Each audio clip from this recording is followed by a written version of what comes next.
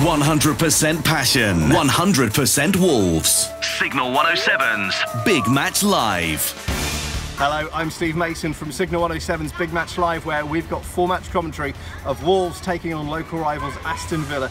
This Saturday, we're on air with all the build up from four o'clock. I'm enjoying the last few minutes of the international break and making the most of the sunshine. Now, what do you do when you're waiting for the plane home?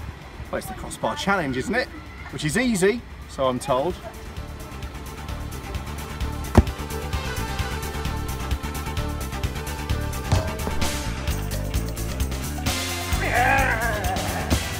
Crossbar challenge.